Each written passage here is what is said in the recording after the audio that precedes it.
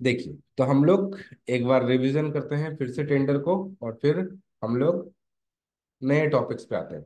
ये आपका bid number है, ये टेंडर का डेट है। ये डेट है कब ये खत्म होगा? ये पब्लिश होने का डेट है, ये इन डेट है। इन डेट से ओपनिंग का डेट आधे घंटे में रहेगा ऑटोमेटिकली ले लेता है। ये ऑफ़र वैलिडिटी का डेट है मतलब इतने दिन के अंदर बायर आपको वर्क ऑर्डर बायर को देना ही पड़ेगा। ये डिपार्टमेंट का नाम आ रहा है, किस डिपार्टमेंट का टेंडर है और उसके अंडर कौन से ऑर्गेनाइजेशन में ये टेंडर निकला है। टोटल क्वांटिटी इस प्रोडक्ट में जो जो प्रोडक्ट है, ये सब प्रोडक्ट है, उसका मिला के इतना क्वांटिटी आप बायर को लगने वाला है। किस किस कैटेगरी में है? तो कैटेगरी का थोड़ा उसने नाम बता दिया। ये सब कैटेगरी में आपको प्रोडक्ट चाहिए। जहाँ पे आपको कोमा दिख रहा है, ये एक प्रोडक्ट हो गया। फिर ये दूसरा हो गया। फिर ये तीसरा हो गया। है ना? जहाँ जहाँ कोमा दिख रहा है। तो इतने सारे प्रोडक्ट आपको सप्लाई करने और सबका मिला के दो लाख सतासी हज़ार सात सौ क्वान्टिटी आपको सप्लाई करना है। यहाँ पे बीओक्यू टाइटल बोल के लिखा है। जब भी कोई टेंडर में ऐसा बीओक्यू टाइटल बोल के लिख के आ गया तो समझ लेने का ये टेंडर बीओक्यू बिड है। जैसे मैंने आपको टोटल टाइप ऑफ़ टेंडर के बारे में एक बार मैंने बताया था। क्या क्या बताया था? कि custom bid product bid services bid में सर्विसेज़ में कस्टम और बीओक्यू बीड तो ये इसमें आपका जो हो गया, ये बीओक्यू बीड है अब इसमें लगने वाले डॉक्यूमेंट्स क्या क्या है? तो इसमें लगने वाले जो डॉक्यूमेंट्स है, वो है experience past performance bidder turnover ATC OEM authorization OEM annual turnover और कंप्लायंस ऑफ़ बीओक्यू ये सब डॉक्यूमेंट्स लगेंगे। ये सब डॉक्यूमेंट्स ऑलरेडी हमने आपको बता दिए हैं, सभी टाइप के डॉक्यूमेंट्स अभी यहाँ पे यदि हम लोग आगे बात करते हैं तो अभी ये जो टर्नओवर लगेगा बीडर का मतलब जो टेंडर भर रहा है, उसको हम लोग बीडर बोलते हैं। बीडर का टर्नओवर ये टेंडर भरने के लिए थर्टी थ्री लाख होना चाहिए। मतलब आपके पास लास्ट तीन साल का एवरेज टर्नओवर एवरेज टर्नओवर कितना होना चाहिए? थर्टी थ्री लाख है। यदि आप इसके ऊपर ज़्यादा हुआ तो चलेगा, पर इससे यदि आपका कम है तो आप ये टेंडर पार्टिसिपेट नहीं कर सकते। मतलब आप इलिजिबल में नहीं बैठते हो। जिस भी कंपनी का आप प्रोडक्ट दोगे यहाँ पे जो जो कंपनी का प्रोडक्ट दोगे, सभी कंपनी का, उनका टर्नओवर भी दो लाख अड़सठ हज़ार से ऊपर होना चाहिए। मान लीजिए दस कंपनी का आप प्रोडक्ट दे रहे हो तो दसों कंपनी का टर्नओवर दो लाख अड़सठ हज़ार से ऊपर होना चाहिए। ईयर ऑफ़ पास्ट एक्सपीरियंस जो तीन साल का लगेगा, है ना? तीन साल के बाद आपके पास लास्ट तीन साल में ये प्रोडक्ट आप बेचा हुआ होना चाहिए, उसका भी आपके पास होना चाहिए। एमएसएमई को एग्जामेशन मिलेगा। एमएसएमई मतलब ओईएम को। तो ओईएम को छूट मिलेगा क्या? एक्सपीरियंस एंड टर्नओवर में तो मिलेगा। यदि आप एज ए ओईएम ये टेंडर भर रहे हो तो आपको एक्सपीरियंस और टर्नओवर यदि आपके पास नहीं भी है, तब भी आप ये टेंडर भर सकते हो। तो आपके लिए वो छूट हो जाएगा। यदि आपके पास आप मैन्युफैक्चरर नहीं हो, पर आपके पास स्टार्टअप इंडिया का लाइसेंस है, तब भी आपको एक्सपीरियंस और आईटीआर देने की ज़रूरत नहीं है, क्योंकि इस टेंडर में उनको भी छूट है। पास्ट परफॉर्मेंस फोर्टी परसेंट है, ये टेंडर बीड इसके बाद आरए में कन्वर्ट होगा। आरए के लिए क्वालिफिकेशन रूल है फिफ्टी परसेंट लोएस्ट प्राइस मतलब दस लोग यदि आरए में क्वालिफाई होते हैं बीड में बीडर में क्वालिफाई होते हैं तो जितने लोगों ने रेट कोट किया है, उसमें से पाँच लोग ही आरए में पार्टिसिपेट कर पाएँगे। पाँच लोग आरए में पार्टिसिपेट नहीं कर पाएँगे। क्यों नहीं कर पाएँगे? क्योंकि उसके हिसाब से नॉर्म्स डिसाइड किया हुआ है। फिफ्टी परसेंट लोएस्ट प्राइस मान लीजिए दस लोग थे तो एल वन से एल फाइव ही आरए में जाएगा। एल सिक्स से एल टेन आरए में पार्टिसिपेट नहीं कर पाएगा। टू पैकेट बीड है। तो बताया था मैंने सिंगल और two packet bid single packet मतलब एक ही जो टेंडर है, वो टेक्निकल और फाइनेंस एक साथ खुल जाता है। पर टू पैकेट में क्या होता है? पहला टेक्निकल खुलेगा और फिर फाइनेंस खुलेगा। इस कैटेगरी में टोटल मेन प्रोडक्ट ये वाला। आपको दो दिन का टाइम मिलेगा। यदि आपने कोई डॉक्यूमेंट्स गलत डाल दिया तो आपको दो दिन का टाइम मिलेगा। मतलब वो डॉक्यूमेंट्स को करेक्शन करने के लिए। कोई थर्ड पार्टी इंस्पेक्शन नहीं है। इसमें एवोल्यूशन कैसा होगा? Item wise item wise evolution मतलब आप जितने भी प्रोडक्ट हैं यहाँ पे जितने भी टोटल प्रोडक्ट हैं, इसमें से आप कोई भी प्रोडक्ट में पार्टिसिपेट कर सकते हैं, क्योंकि आइटम वाइज इवोल्यूशन है। आप चाहो तो इसमें से पाँच प्रोडक्ट चाहो तो दो, चाहो तो दस, किसी में भी पार्टिसिपेट कर सकते हो। यदि ये टेंडर यहाँ पे आइटम वाइज की जगह वैल्यू वाइज होता तो इस टेंडर में जो जो प्रोडक्ट मांगा है, सब के सब प्रोडक्ट आपको देना पड़ता। ये टेंडर में ईएमडी है। तो ईएमडी कैसा है? तो ईएमडी आपको भरना है स्टेट बैंक ऑफ़ इंडिया में एडवाइजरी में, है ना? उसके स्टेट बैंक ऑफ़ इंडिया का ही बीजी चाहिए। Schedule one schedule two EMD ये है क्योंकि ये टेंडर आइटम वाइज है तो शेड्यूल हो गया। तो अभी हर एक आइटम का, जो जो आइटम का आप टेंडर भरोगे, उस आइटम का, मान लीजिए आपने पहला वाला भरा, दूसरा वाला आइटम का टेंडर कोट कर रहे हो और चौथा वाला का कर रहे हो तो एक नंबर मतलब तीन हज़ार आठ सौ चौसठ प्लस तेरह सौ प्लस फोर फिफ्टी थ्री इतना ही आपको ईएमडी भरना है। जिस, जो जो आइटम में टेंडर भरोगे, उतना ही आपको ईएमडी भरना है। जिस प्रोडक्ट में पार्टिसिपेट नहीं करोगे, उसका ईएमडी आपको नहीं भरना है। इसलिए हर एक आइटम का इंडिविजुअल ईएमडी आपको लिखा हुआ है। इस टेंडर में ई ईपीबीजी भी है। ई ईपीबीजी कब लगता है? टेंडर के बाद। अभी नहीं। जब टेंडर यदि आपको मिलेगा तो देना पड़ेगा। ईपीबीजी का ड्यूरेशन कितना रहेगा? छह महीने का। और कितना परसेंट भरना पड़ेगा? दस परसेंट मान लो आपको टेंडर मिला है एक करोड़ रुपया में तो दस लाख रुपया आपको उसको छह महीने के लिए जमा रखना पड़ेगा बायर के पास। ईएमडी में छूट मिलेगा? किसको मिलेगा? सेम ओईएम को। ओईएम जिसके पास उद्यम है और ओईएम है वो ईएमडी नहीं भरा तो भी चलेगा। उसके उसके बिहाफ में वो अपना उद्यम का सर्टिफिकेट अपलोड कर सकता है। पर छूट किसको मिलेगा? सिर्फ़ ओईएम को। हाँ ये सर्विसेज़ का टेंडर होता तो आपको भी मिलता था। ईएमडी किसके नाम से भरना है? तो इनके नाम से बीजी बनाना है। बैंक गारंटी बोलते हैं, इसके नाम से बनाना है। स्प्लिट नहीं है है ना? मेक इन इंडिया में ये आता है और एमएसएमई में भी ये टेंडर आता है। ये देखो, ये शेड्यूल है आइटम वाइज इवोल्यूशन का, हर एक आइटम का नाम और टोटल यहाँ पे क्वांटिटी लिखा है। और ये प्रोडक्ट का डिटेल्स अब एक एक आइटम का आपको डिटेल्स आ गया। ये आपका आइटम है और ये प्रोडक्ट का यहाँ पे डिटेल्स आ गया है। अब यदि आपको पूरा, ये बीओक्यू टेंडर इसलिए यहाँ पे हम लोग एक एक्सेल साइज़ सीट में हर एक आइटम का क्वांटिटी डिटेल्स अपने को मिल सकता है। और ये प्रोडक्ट कैसा लगेगा, उसका स्पेसिफिकेशन यहाँ से मिल जाएगा। इसमें सिर्फ़ क्वांटिटी और नंबर्स लिख के दे दिया है। और यदि हम बात करते हैं यहाँ पे तो बीओक्यू का तो यहाँ पे आपको एक एक्सेल सीट मिलेगा नीचे। उसमें हर एक आइटम का नाम और क्वांटिटी आ जाएगा। देखो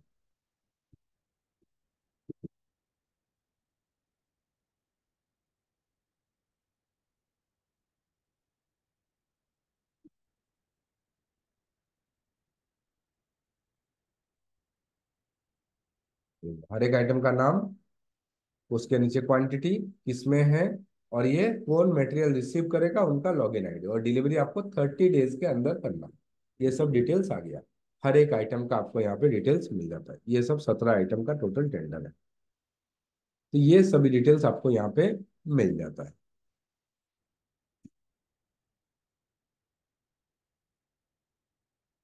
हाँ दीक्षित सर बोलिए।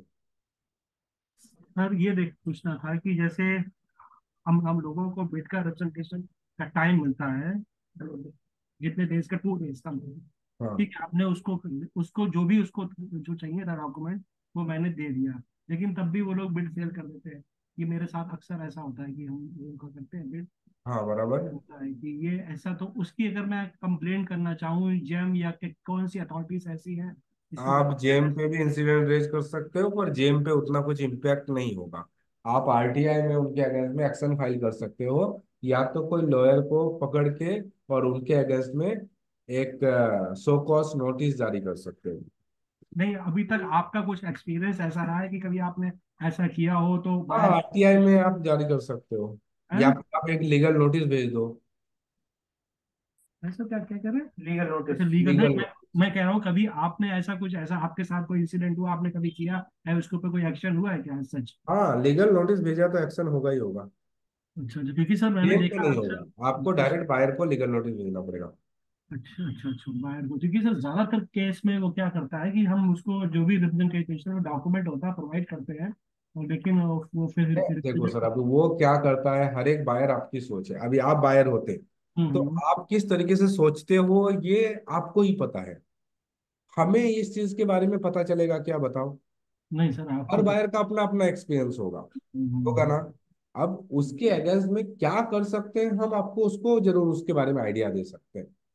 पर कौन सा बायर क्या सोचता है ये बताना बड़ा थोड़ा मुश्किल हो जाएगा है ना? ये तो राइट हाँ यदि आपके साथ कुछ बुरा होता है तो आपके पास अलग अलग ऑप्शन है। लीगल हम्म नोटिस भेज सकते हो आरटीआई में केस फ़ाइल कर सकते हो और हम्म। जेम पे भी जेम पे कंप्लेन करके कोई फ़ायदा नहीं है। हाँ सर जैम पे किया था कंप्लेंट लेकिन कोई उसका कोई फ़ायदा नहीं रिवर्ट नहीं कोई फ़ायदा नहीं है। लीगल नोटिस भेजने से सबसे ज़्यादा इम्पैक्ट पड़ेगा। हम्म, हम्म। अच्छा सर थोड़ा सा एक चीज़ और चलेगा। बोलिए। सकता हूँ। ये जैसे अभी जैसे इसमें जेम पे जैसे हम लोग कोई फ़ाइल की, किसी और पार्टिसिपेंट की नहीं कह सकते तो क्या अगर हम जेम को कंप्लेंट करें कि भाई जो दूसरा पार्टिसिपेंट है उसकी फ़ाइल शो की जाए तो ऐसा नहीं नहीं वो यहाँ पे कुछ नहीं होता। हाँ बायर में यहाँ पे कोई कंप्लेंट नहीं होता। अच्छा क्योंकि सर बहुत ये होता है ना वो दूसरे आपको अंडर ये इंटरनल है आपको इंटरनल सॉल्व करना पड़ेगा। यहाँ पे जेम उसके लिए नहीं है। जेम कुछ नहीं करता उसमें। एसबीआई में अकाउंट नहीं है। एसबीआई बीजी इशू करेगा हाँ करेगा। आप बैंक में सब डिस्कशन करो ये सब आपको पता चल जाएगा। चलो क्लियर हो गया ये सब यहाँ तक? अब यहाँ पे दो पॉइंट हमने नहीं बताया था, वो दो पॉइंट में आपको बताता हूँ और, है ना? इसको बात करते हैं हम लोग मेक इन इंडिया देखो, आप जो प्रोडक्ट दोगे, ये मेक इन इंडिया के तहत चाहिए, ऐसा उसने बोला है। इसमें दो ऑप्शंस मिलेंगे आपको, एक प्रेफरेंस और एक रिज़र्व ऐसे दो वर्ड्स आ सकते हैं, जिसमें क्या है? प्रेफरेंस है। प्रेफरेंस मतलब मेक इन इंडिया देखो मेक इन इंडिया में जब प्रेफरेंस और रिज़र्व होता है तो उसका मतलब क्या होता है? यदि यहाँ पे हम बात करते हैं प्रेफरेंस रहा।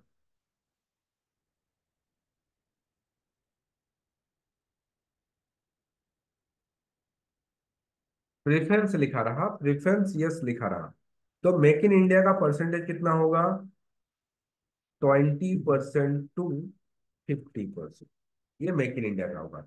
और इसको हम लोग बोलते हैं क्लास टू लोकल सप्लाई यदि यहाँ पे रिज़र्व लिखा होता make in India reserve yes होता तो रिज़र्व में यस होता तो मेक इन इंडिया परसेंटेज होता ग्रेटर देन फिफ्टी पचास परसेंट से ज़्यादा. और ये क्लास वन लोकल सप्लायर में माना जाता ठीक है? तो यहाँ पे ऐसे दो ऑप्शन आ सकते हैं आपके पास। या तो प्रेफरेंस या तो रिज़र्व या तो नो नो मतलब कुछ भी चलेगा फिर। तो आपको जैसा बोलेगा। आप यदि आपको इसमें क्या बोला है? प्रेफरेंस बोला है। मतलब ट्वेंटी टू फिफ्टी परसेंट के बीच। अब आप जो भी प्रोडक्ट दोगे, उसका at least twenty percent parts India में होना चाहिए। मैन्युफैक्चरिंग या असेंबल मान लीजिए ये टेंडर होता लैपटॉप का। तो लैपटॉप में क्या क्या पार्ट्स लगता है?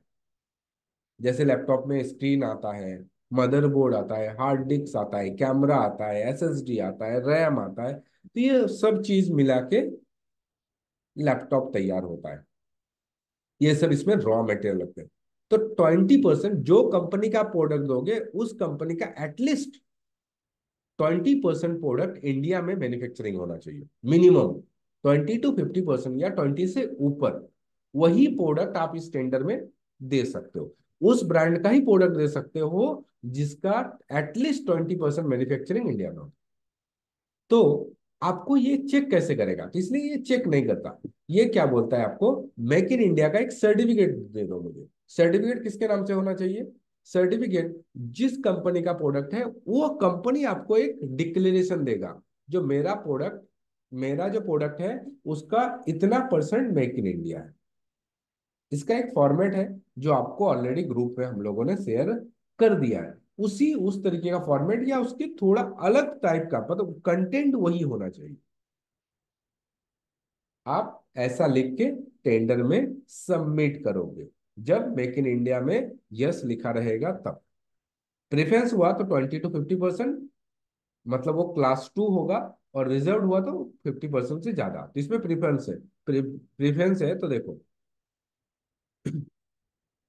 इसमें कितना होगा percentage twenty to fifty percent के बीच। ये कहाँ पता चलता है? यहाँ पे। फिफ्टी एंड ट्वेंटी परसेंट देखो लिखा है। आप फिफ्टी परसेंट से ऊपर भी दे सकते हो, क्योंकि ये क्लास टू है। और यदि ये क्लास वन होता रिज़र्व होता तो यहाँ लिखा होता फिफ्टी से ज़्यादा ही मेक इन इंडिया होना चाहिए। प्रूफ के तौर पे क्या दोगे?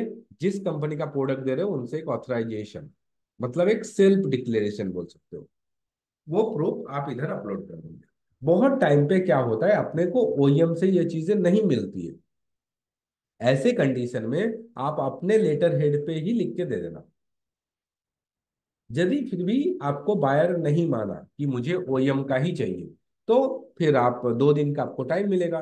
तब अपने ओईएम से मंगा के और फिर आप अपलोड कर दो। क्लियर है? मेक इन इंडिया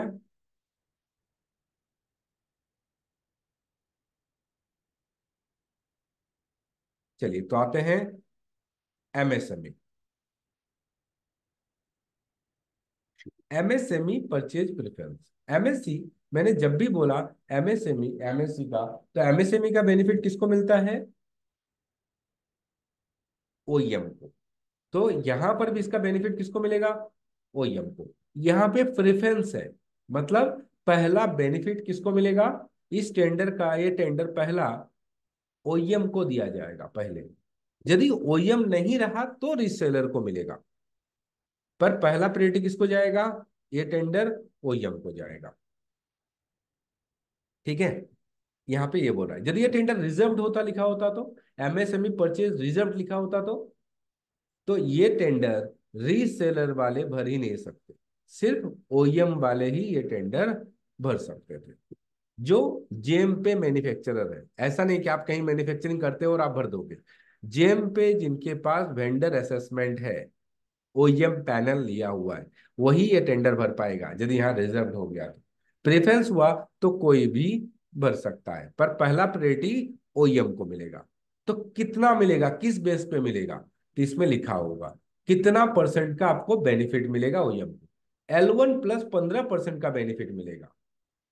और कितना प्रोडक्ट पच्चीस परसेंट सिलेक्टेड पच्चीस परसेंट का ओईएम को बेनिफिट मिलेगा। क्या क्या लिखा है? एल वन प्लस पंद्रह परसेंट पच्चीस परसेंट अवार्ड क्वांटिटी का जेम में बायर को, सॉरी ओईएम को इसका बेनिफिट मिलेगा। अब इसको थोड़ा समझो। लॉ लॉजिक क्या लिखा है? प्रेफरेंस तो दिया है L one plus fifteen percent का। और कितना परसेंट मिलेगा? पच्चीस परसेंट अवार्ड होगा। ठीक है? ऐसा इसने क्लॉज डाल दिया है। अब समझ अब ये टेंडर भरा है, एल वन है, हंड्रेड रुपीज़ में। एल टू है, एक सौ दस। एल थ्री है, एक सौ पच्चीस रुपये में एल फोर है, एक सौ डेढ़ सौ रुपये बराबर? एल वन मतलब लोएस्ट सबसे कम किसने भरा है? अब एल वन रजिस्टर है हम नहीं। एल टू एल टू जो है, ये ओरिजिनल है। ये ओरिजिनल मैन्युफैक्चरर है। अब क्या होगा? अब ऑर्डर डायरेक्ट एल वन को नहीं चला जाएगा, क्योंकि इसमें क्या लिखा हुआ है? पहला प्रायोरिटी किसको मिलेगा? कहा गया वो पॉइंट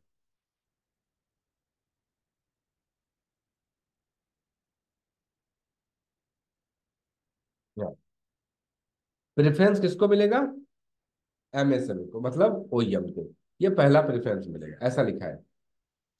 तब L2 को बायर बायर क्या करेगा? L2 जो ओईएम है L2 को बोलेगा, आप हंड्रेड रुपीज़ में दे सकते हो क्या? इसको बोलते हैं प्राइस मैच यदि वो एग्री हो गया, ठीक है, मैं हंड्रेड रुपीज़ में दे दूँगा तो उसको कितना परसेंट क्वांटिटी चला जाएगा? पच्चीस परसेंट अवॉर्ड हो जाएगा। मान लो ये टोटल हज़ार क्वांटिटी था तो हज़ार में साढ़े सात सौ क्वांटिटी किसको चला जाएगा? ओईएम को। और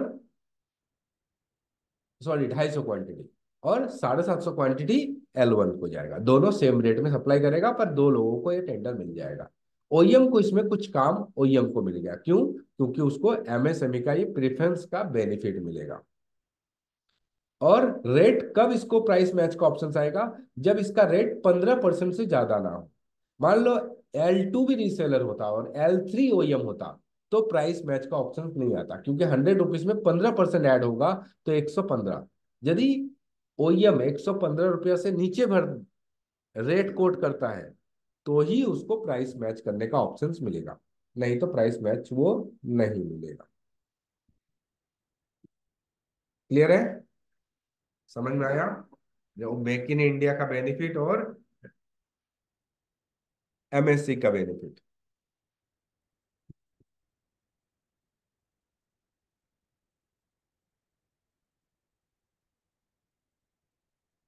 ठीक है, फिर बाकी के पॉइंट तो मैंने आप लोगों को समझा ही दिया था। ये शेड्यूल बिड है, इसलिए अलग अलग आइटम का आ गया। और यहाँ पे पता चल जाता है, ये बीओ क्यू बिड है अब मैं थोड़ा टेंडर आपको समझा भी देता हूँ। एक एक टाइप का मैं टेंडर ले लेता हूँ तो आपको समझ में आ जाएगा। हर एक टाइप का एक टेंडर खोलता हूँ।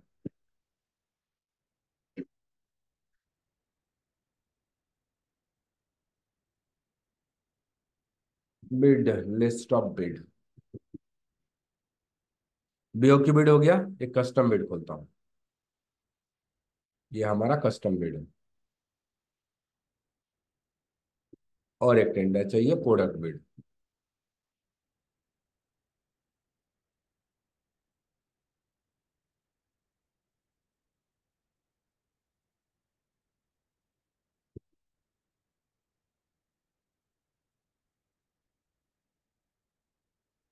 इंटरैक्टिव पैनल का। ठीक है इंटरैक्टिव पैनल ही देख लेते हैं। और ये क्यू टू आइटम है?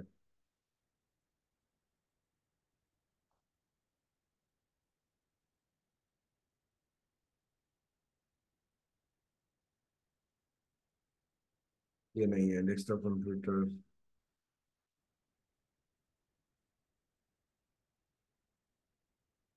ये प्रोडक्ट है। ये इंटरैक्टिव पैनल का तो नहीं है, पर प्रोडक्ट है। अब देखो, कैसे पता चलता है? हमेशा टेंडर हमें पता करना है तो यहाँ से पता चलता है। अब देखो, जब कोई प्रोडक्ट है, नाम है और उसके नीचे स्पेसिफिकेशन लिखा हुआ है तो ये टेंडर है प्रोडक्ट बिड कैसे पता करोगे? यदि कोई टेंडर का, जो प्रोडक्ट का नाम है, उसके नीचे स्पेसिफिकेशन लिखा हुआ है ऐसा तो ये है प्रोडक्ट बिड दूसरे नंबर पे। फिर से ये प्रोडक्ट के पास ही चले जाओ। यदि इस प्रोडक्ट के नाम के नीचे सिर्फ़ बायर स्पेसिफिकेशन लिखा है तो ये है कस्टम बिल्ड और प्रोडक्ट के नीचे यदि स्पेसिफिकेशन और बीओक्यू दोनों लिखा है तो ये है बीओक्यू बिल्ड कैसे पता चलेगा? एक बार रिपीट करता हूँ।